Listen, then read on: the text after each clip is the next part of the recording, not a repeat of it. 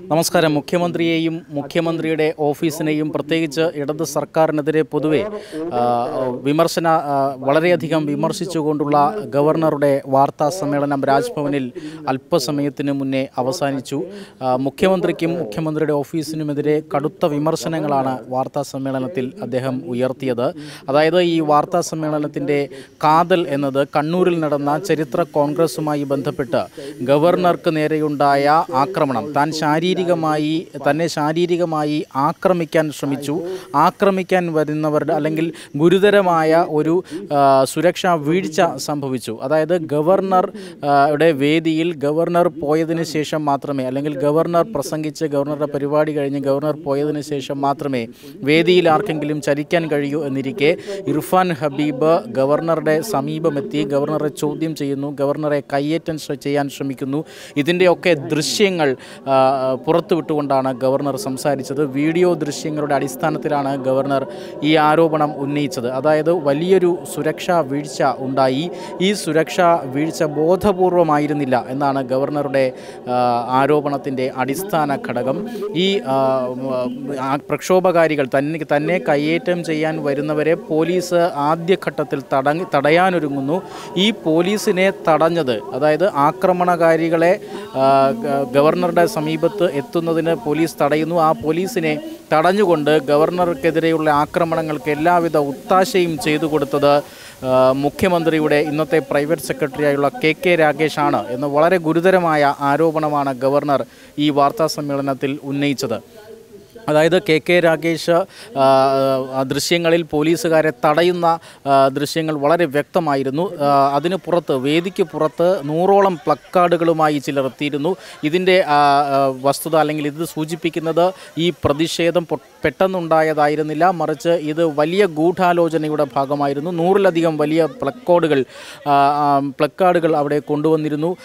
പ്രക്ഷോഭകരെ തടയരുത് എന്ന് പോലീസിന് നിർദ്ദേശം കൊടുക്കുന്ന കെ കെ രാകേഷിനെ ദൃശ്യങ്ങളിൽ ചൂണ്ടിക്കാട്ടിയിരുന്നു ആ, കേരള ഗവർണർ. അതിനു പുറമെ കേരളത്തിലെ ഉന്നത വിദ്യാഭ്യാസ രംഗം ഒന്നാകെ തകർന്നടിഞ്ഞതാണ്.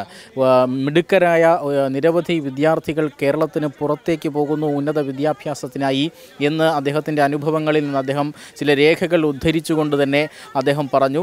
അതുമാത്രമല്ല താൻ സർവകലാശാലകളിൽ നടക്കുന്ന നിയമനത്തിനെതിരെ അനധികൃത നിയമനത്തിനെതിരെ പ്രതികരിച്ചുകൊണ്ട് ആദ്യഘട്ടത്തിൽ ചാൻസലർ പദവി ഒഴിയാൻ തീരുമാനിച്ചിരുന്നു. അത് സർക്കാരിനെ അറിയിച്ചു. ആ ഘട്ടത്തിൽ സർക്കാർ മുഖ്യമന്ത്രി നേരിട്ട് തന്നോട് അഭ്യർത്ഥിച്ചു. അങ്ങനെ ചെയ്യരുത്. ചാൻസലർ പദവി ഒഴിയരുത് എന്ന് അഭ്യർത്ഥിച്ചിരുന്നു. മാത്രമല്ല മുഖ്യമന്ത്രി തനിക്ക് കത്തെഴുതിയിരുന്നു. ഇനി സർവകലാശാല നിയമനങ്ങളിൽ സർക്കാരോ സർക്കാരിന്റെ ഏജൻസികളോ ഇടപെടില്ല.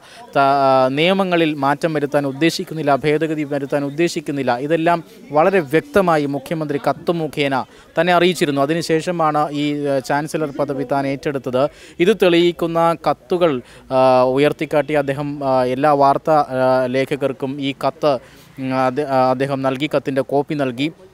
അതുകൂടാതെ professor C N R Rao അടക്കമുള്ളവരുടെ report കേരളത്തിന്റെ ഉന്നത വിദ്യാഭ്യാസ രംഗത്തെ തകർച്ചയെ കുറിക്കുന്ന റിപ്പോർട്ടുകളും അദ്ദേഹം ഉദ്ധരിച്ചു. ഇങ്ങനെ സർക്കാരിനെ നഖശിഖാന്തം എതിർത്തുകൊണ്ട് അദ്ദേഹത്തിന് നേരെയുണ്ടായ കയ്യേറ്റ ശ്രമം കണ്ണൂരിൽ ചരിത്ര കോൺഗ്രസിന്റെ ഭാഗമായി ഉണ്ടായ കയ്യേറ്റ ശ്രമം ആ ശ്രമത്തിൽ ഗുരുതരമായ സുരക്ഷാ വീഴ്ച സംഭവിച്ചു. ആ സുരക്ഷാ വീഴ്ചയ്ക്ക് എല്ലാവിധ ഒത്താശയും ചെയ്തു കൊടുത്തത് മുഖ്യമന്ത്രിയുടെ പ്രൈവറ്റ് സെക്രട്ടറി ഇന്നത്തെ private secretary K K Rakesh ആയിരുന്നു എന്ന് അദ്ദേഹം ദൃശ്യങ്ങൾ ചൂണ്ടിക്കാട്ടി തന്നെ സ്ഥാപിച്ചു.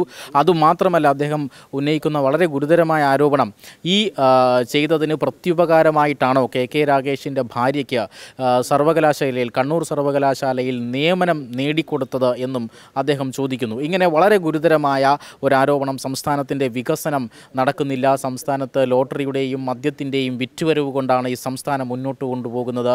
ഇത് അത്യധികം നാണക്കേടാണ്. അടിസ്ഥാന സൗകര്യ വികസന പദ്ധതികൾ ഒന്നും തന്നെ ഉണ്ടാകുന്നില്ല. ഇങ്ങനെ വളരെ വിമർശി വിമർശനാത്മകമായ ഒരു പത്രസമ്മേളനമായിരുന്നു. ഈ പത്രസമ്മേളനത്തിന്റെ കാതലെന്നത് തനിക്ക് നേരെയുണ്ടായ കയ്യേറ്റ ശ്രമവുമായി ബന്ധപ്പെട്ട വീഡിയോ തെളിവുകളും അതുപോലെ തന്നെ മുഖ്യമന്ത്രി ഈ സർവകലാശാല നിയമനങ്ങളിൽ ഇടപെടൽ ഉണ്ടാകില്ല എന്ന് ഉറപ്പ് നൽകിക്കൊണ്ടുള്ള കത്തുകളും അദ്ദേഹം അവതരിപ്പിക്കുന്നു. മാത്രമല്ല ഈ സർവകല കേരളത്തിലെ മന്ത്രിസഭയിൽ മന്ത്രിമാരുടെ പേഴ്സണൽ സ്റ്റാഫുകളെ സംബന്ധിക്കുന്നു സംബന്ധിക്കുന്ന പരാമർശവും അദ്ദേഹത്തിന്റേതായി വന്നു. അതായത് ഇരുപതും ഇരുപത്തഞ്ചും പേഴ്സണൽ സ്റ്റാഫുകൾ ഓരോ മന്ത്രിമാർക്കുമുണ്ട്.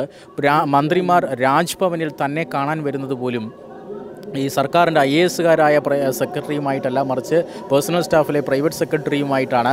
അതുകൊണ്ട് ഈ മന്ത്രിമാർ ഓരോ വാക്കും തന്നോട് സംസാരിക്കണമെങ്കിൽ പേഴ്സണൽ സ്റ്റാഫിനോട് നോക്കി പാർട്ടി കിങ്കരന്മാരായ പേഴ്സണൽ സ്റ്റാഫിനെ നോക്കി അനുമതി വാങ്ങിയതിന് ശേഷമാണ് തന്നോട് സംസാരിക്കുന്നത്. ഇത്തരത്തിൽ വളരെ വളരെ വിമർശനാത്മകമായ ആരോപണങ്ങൾ ഗവർണർ ആരിഫ് മുഹമ്മദ് ഖാൻ തന്റെ വാർത്താ സമ്മേളനത്തിൽ ഉന്നയിച്ചു.